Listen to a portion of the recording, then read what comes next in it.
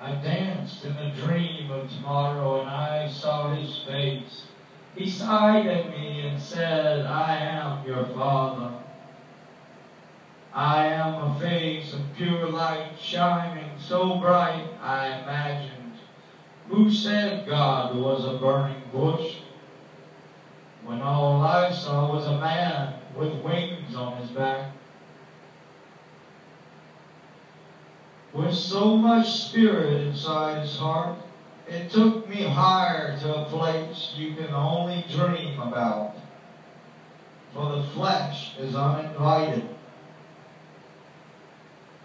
I am old Indian, he told me.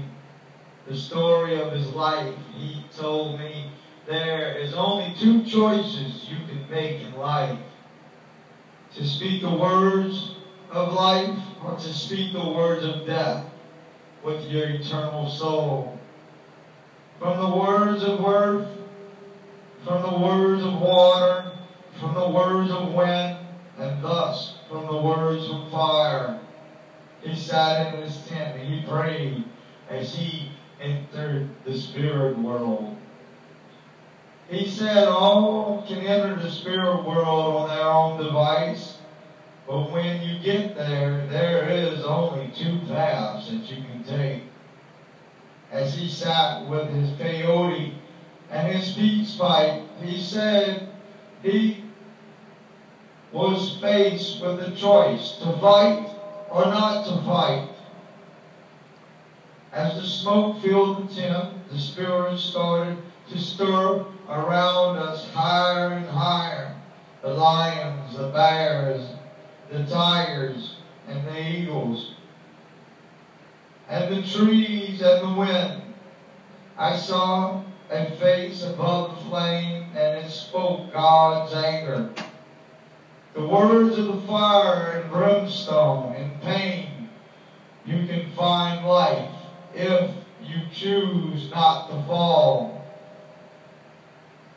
In loss, you can find hope when you put love in your hearts.